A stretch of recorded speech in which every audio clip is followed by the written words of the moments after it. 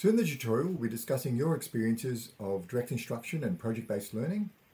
and some of the theories related to how we can go about engaging with project-based learning through what you've discovered in the readings,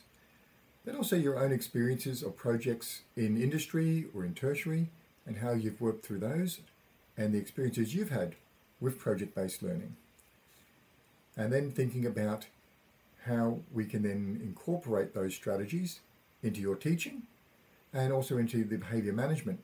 um, techniques that you apply to your teaching when employing project-based learning.